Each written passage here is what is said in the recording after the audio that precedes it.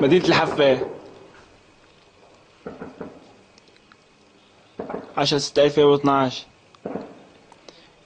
إطلاق نار من جهة المشفى.